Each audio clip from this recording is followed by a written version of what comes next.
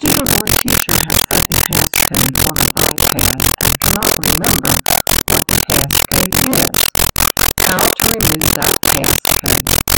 First, log on to Jamf https colon slash slash launchcode.jamfcloud.com. Your username and password are your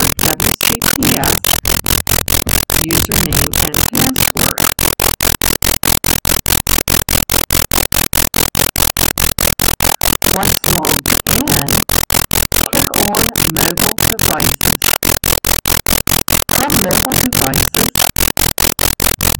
put the serial number of the iPad in the search box and click Search. Now put the name of the iPad. At this screen, we're going to click on.